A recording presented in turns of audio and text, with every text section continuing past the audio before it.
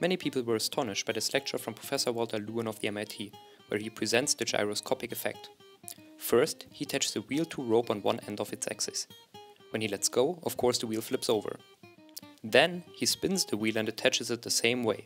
Magically, when he lets go, the wheel doesn't flip, but stays perfectly vertical. Also, it slowly spins around the rope.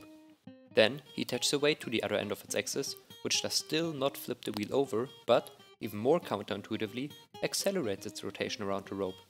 So, what's happening here?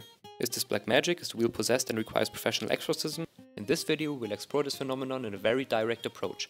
No formulas, no physics gibberish, just you, me, plain English and drawings. Imagine the wheel as many narrow angular segments, like pieces of a pizza. When the wheel is not rotating and you hang it on a rope in a vertical position, it flips. Why? Because the segment which is on top is moving left and down, the segment which is on the bottom is moving right and up. Hence, there is a flip. Now spin it.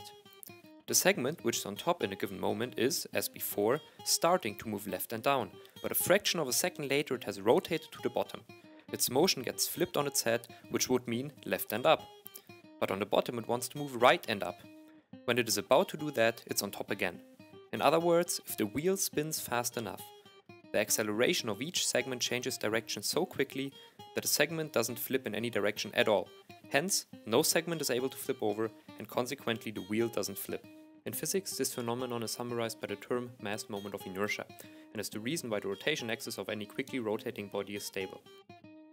Okay, easy enough. But why does the wheel as a whole rotate around the rope?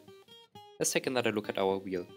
When on top, the segment wants to move left and down, on the bottom it wants to move right and up. During the time our segment spends at the top half of the wheel, it is in fact beginning to flip towards the left. So fraction of a second later, when it reaches the flipping axis, it's slightly removed in that same direction. This then happens in reverse on the other side. From the top, this effect looks like this. Another way to describe this is that when the wheel is turning, it is still flipping over, just that the flipping which is happening has been turned by a 90 degree angle. In fact, every outside force which is applied on the spinning wheel perpendicular to the axis is turned by 90 degrees for that same reason.